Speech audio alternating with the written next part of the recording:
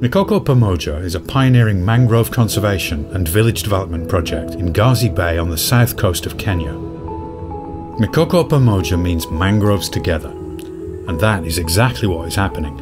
Instead of cutting down mangroves, the villagers are protecting these blue forests. Mikoko Pamoja is a model for mangrove villages around the world. It's the first community project to use the sale of biocarbon credits from the mangrove ecosystem to bring conservation and development together. The sale of biocarbon credits not only funds the conservation efforts, but also creates jobs and pays for access to clean water and education. Mangroves are an essential part of vital marine ecosystems. They provide a breeding ground for fish and a buffer between the land and the sea. They protect seagrass meadows and coral reefs from silting. And they're a natural defence against sea storms and coastal erosion. But mangroves are in rapid decline globally. Local communities and people from further afield enter the communal forests to cut mangrove poles for timber. In Kenya, this has resulted in the destruction of 20% of mangroves over the last 30 years. This loss has resulted in the decline of fish stocks.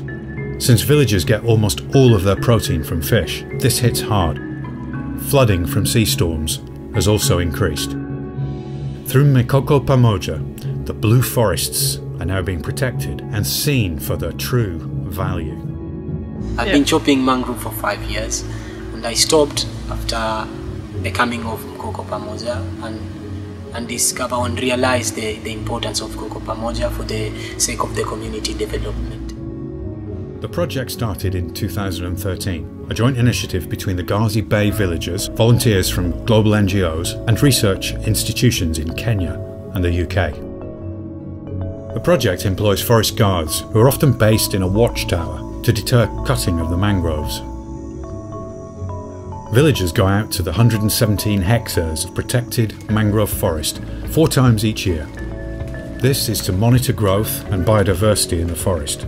Trees are measured and key indicators of ecosystem health are checked, like crab numbers. Mikoko Pamoja is also a reforestation project. Our activity today is planting. So we take the plants which we kept in the nursery, we transport them or we migrate them from one place to another place. The carbon benefits from protecting and planting mangroves are substantial.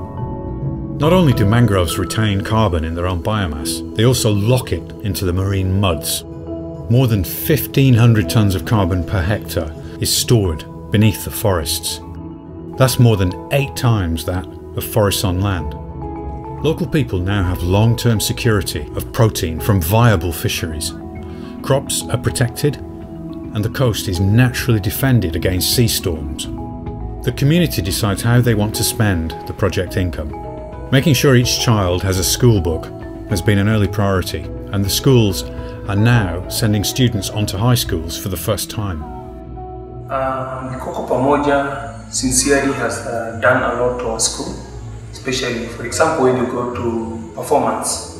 Last year, uh, the school broke the records because of the books uh, we received uh, for donation from Mikoko Pamoja. Pumps funded by Mikoko Pamoja also provide clean drinking water for several hundred children in the two primary schools in Gazi and Makongeni. Four and a half thousand people in the wider community also benefit from clean drinking water, and people no longer carry water from afar. Jobs have been created for two forest guards and one project coordinator.